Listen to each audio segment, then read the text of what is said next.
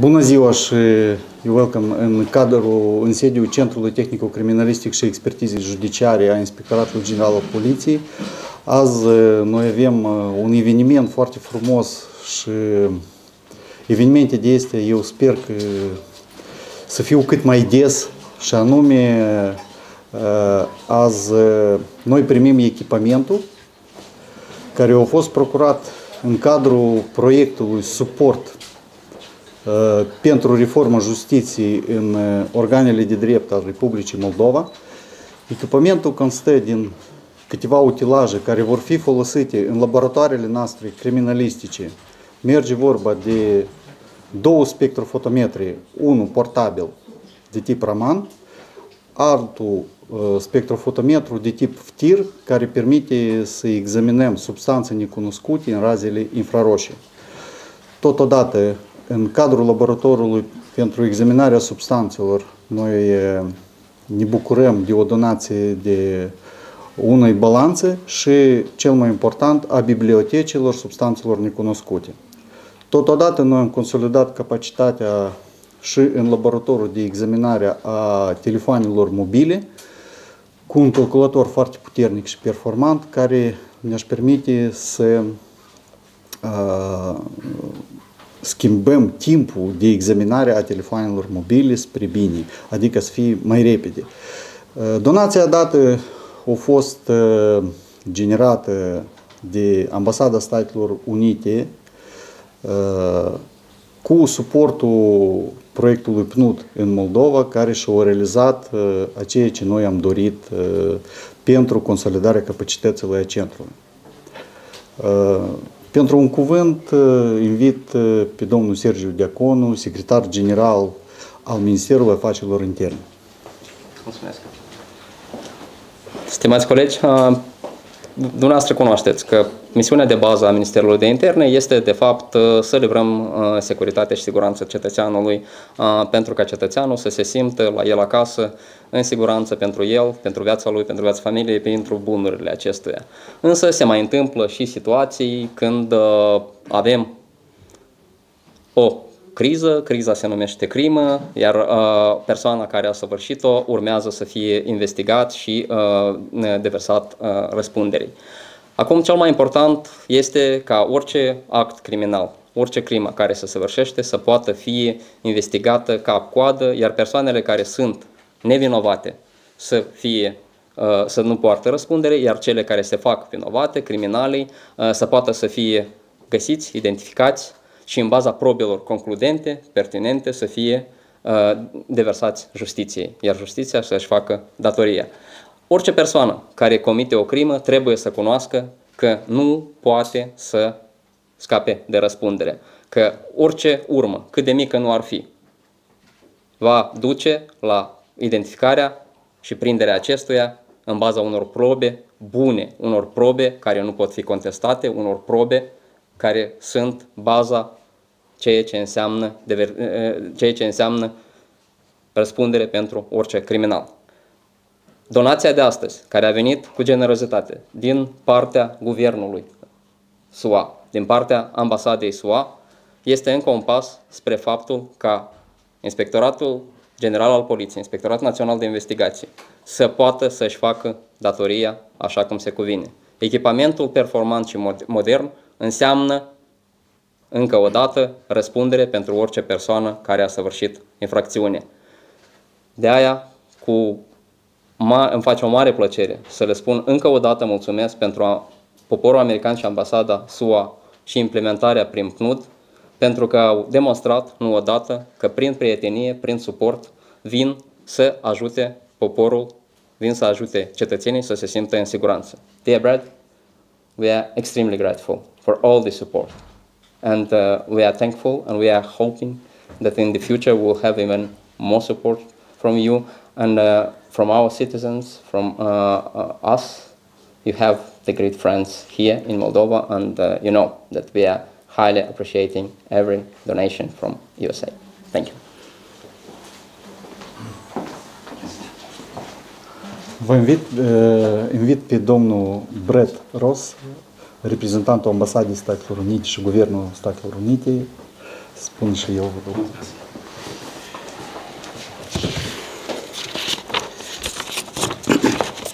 I want to start off by thanking our partners uh, at the Forensics Unit, at the Ministry of Internal Affairs, at UNDP, for the excellent collaboration that we've had on this project and will continue to have into the future. Pentru început, aș vrea să-mi res- eh, îmi exprim recunoștința față de partenerii noștri, față de Centrul eh, de eh, Tehnico-Criminalistic și Expertize Judiciare, față de Ministerul Afacerilor Interne și vreau să apreciez această colaborare excelentă pe care am avut-o pentru acest proiect și colaborările și pentru proiecte viitoare pe care intenționăm să o avem. The Forensic Development Project, funded by the U.S. government and implemented through our partner, the UNDP, is designed to help the police and prosecutors transition to a system that relies on modern scientific analysis of evidence for convictions.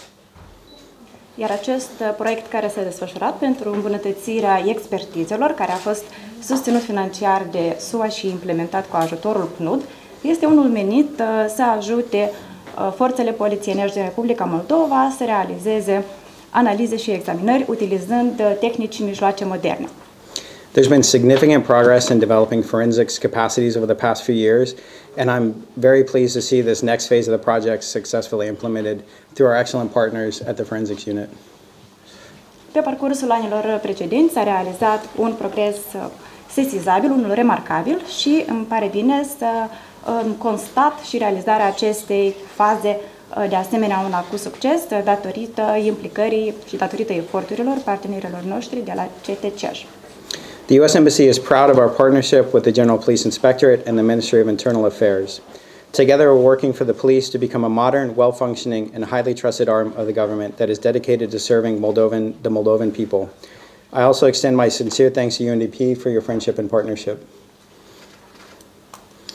Noi suntem mândri de acest parteneriat pe care îl avem cu Inspectoratul General al Poliției și cu Ministerul Afacerilor Interne pentru uh, eforturile pe care au putut să le depună împreună cu Guvernul pentru realizarea acest, acelor uh, m- măsuri moderne uh, care în cele din urmă sunt menite să fie spre binele și în serviciul poporului din uh, Republica Moldova și pe această notă de asemenea exprim recunoștința față de conlucrarea cu PNUD.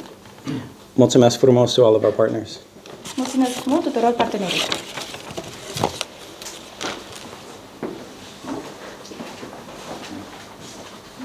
Mulțumim, domnul Brett. Uh, Să invită doamna Alesia Pireanu, reprezentantul PNUD-ului în Republica Moldova. Uh, Mulțumesc, mulțumesc mult. Uh, Ce aș putea eu să adaug? Mm, Edificarea statului de drept uh, se face nu doar prin alinierea cadrului legal, a standardele internaționale, dar și prin uh, asigurarea bazei tehnico-materiale a organelor de ocrotire a normelor de drept, astfel încât aceste uh, instituții, organe să poată să asigure de plin uh, drepturile uh, participanților la proces, uh, drepturile bănuiților, în, învinuiților sau uh, inculpaților.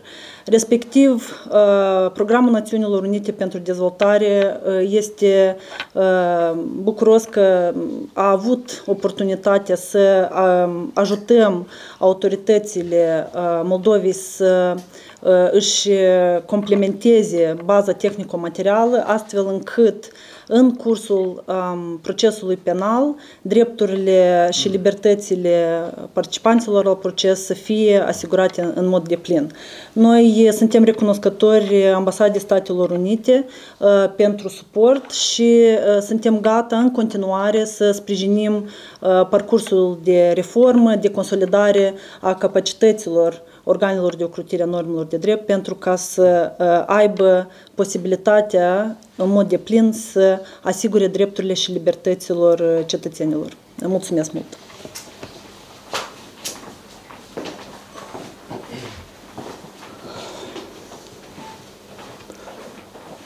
Uh, Eu încă o dată vreau să mulțumesc uh, conlucrării care noi avem cu PNUD Moldova și cu Ambasada Statelor Unite, unde avem o istorie bună uh, de proiecte implementate, ales în cadrul Centrului Tehnico-Criminalistic, începând cu acreditarea unde au participat uh, mulți experți internaționali și au fost oferite sume uriașe pentru acreditarea centrului și pentru proiecte care sunt în derulare și pentru proiectul care azi îl finisăm și inaugurăm.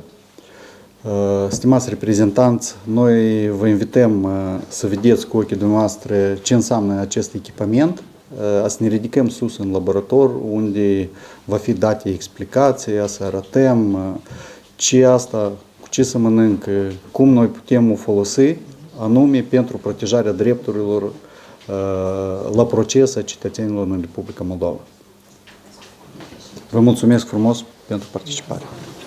Șeful secției examinări substanță, domnul Andrei Modrăgă, comisar principal, care are ca suport și angajații din cadrul secției. Vă rog. Bună ziua! Prin intermediul ambasadei SUA am beneficiat de anumite echipamente care ulterior urmează să fie folosite la examinarea substanțe, cum ar fi droguri, explozivi, fibri, polimeri și așa mai departe. Partea dreaptă aici, colega mea o să vă prezinte Da, nu, e ok, uh da, bine. Colega mea o să vă prezinte echipamentul, deja cum vă, vă spus de șeful, uh, Raman. Este un spectrometru Raman. Noi îl utilizăm ca metodă non-destructivă și este una dintre metodele analitice utilizate pe larg uh, în, în chimie judiciară.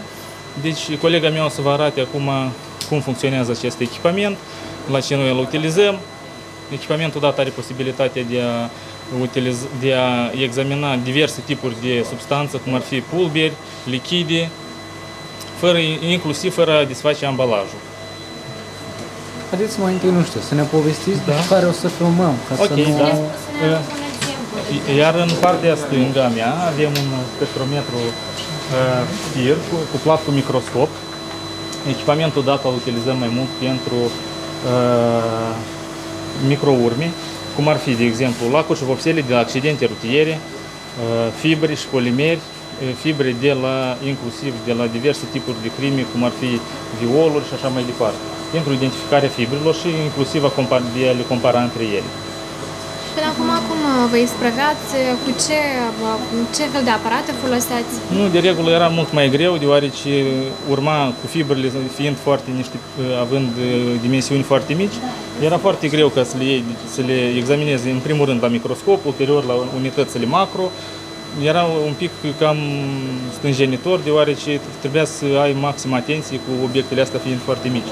Acum este posibilitatea, fiind încorporat, a să achiziționăm spectrul substanțelor foarte mici, chiar în, să, le, vi- să le vi- vizualizăm și să identificăm substanțele care urmează să le analizăm. Ați putea să ne oferiți să le arătați un exemplu, de exemplu, dacă cineva este a da. cum, cum este identificat? Încă o dată, vă rog, nu, nu v-am auzit bine. Un exemplu să ne oferiți. Deci, cum se, sunt examinate Da, fibrele?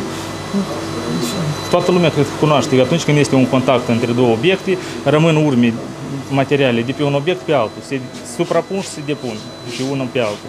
Astfel, spre exemplu, având un tricou, eu având tricoul meu și am avut contact cu cineva, sigur că o să rămână careva fibre de pe, pe tricoul meu. Și uite, ele sunt analizate la microscop și uh, echipamentul dat ne oferă posibilitatea nemijlocit fără a extrage uh, fibrele care nu sunt uh, speci- specifice tricoului meu, da? de exemplu.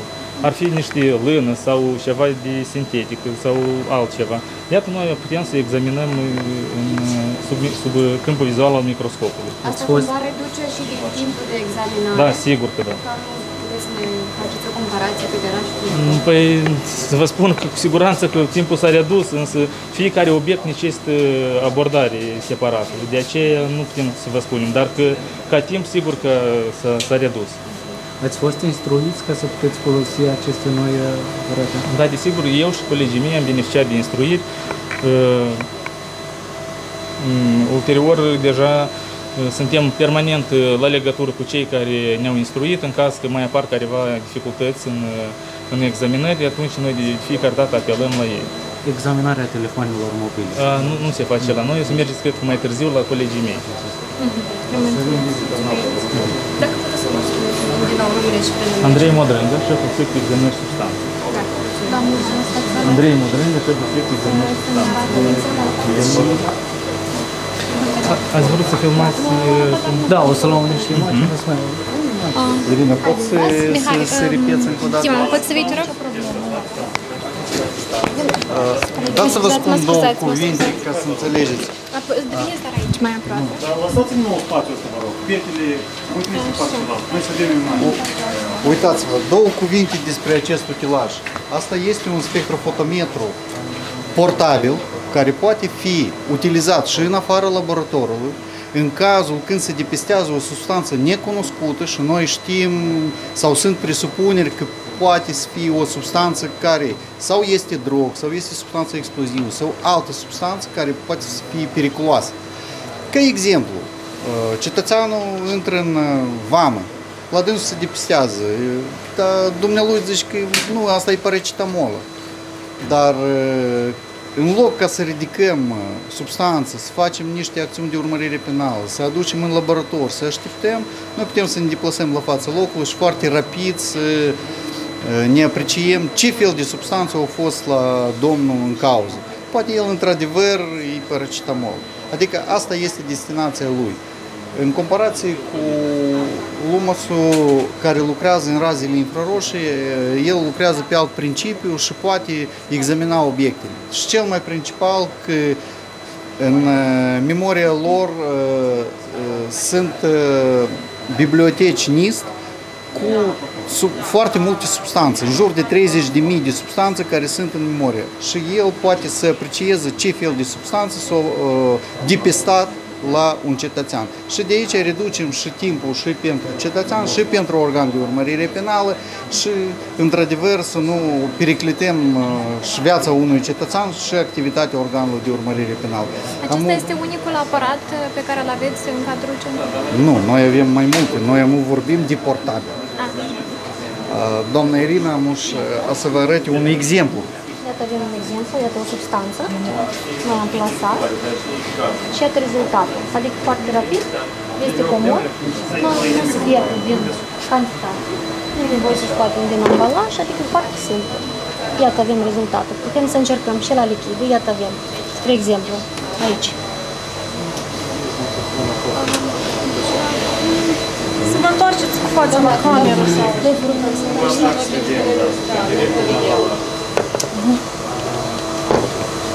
sau... Deci, vrem să Și ambalajul se poate lua, da?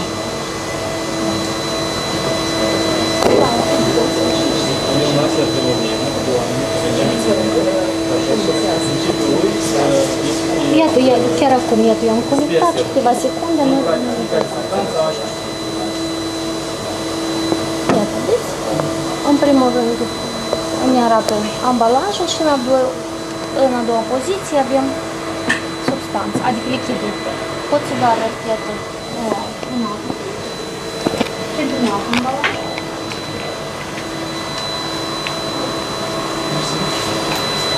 E foarte simplu. Câteva secunde și avem rezultatul.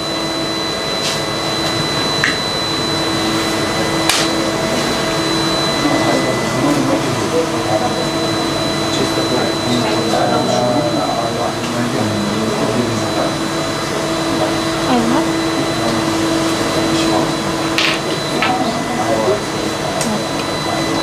Etanol. Ceea ce și era aici. Trebuie să mă ridicați.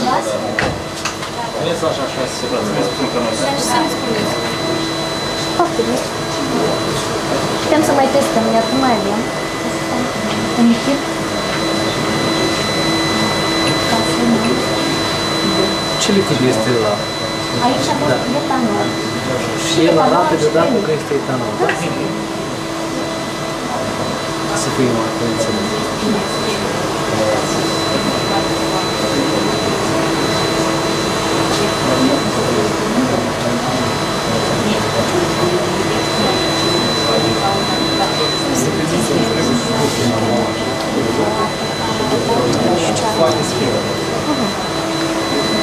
Iată, avem rezultatul. Lichidul degustat este metanol. Ce, ce și era. Hai să vedeți dumneavoastră.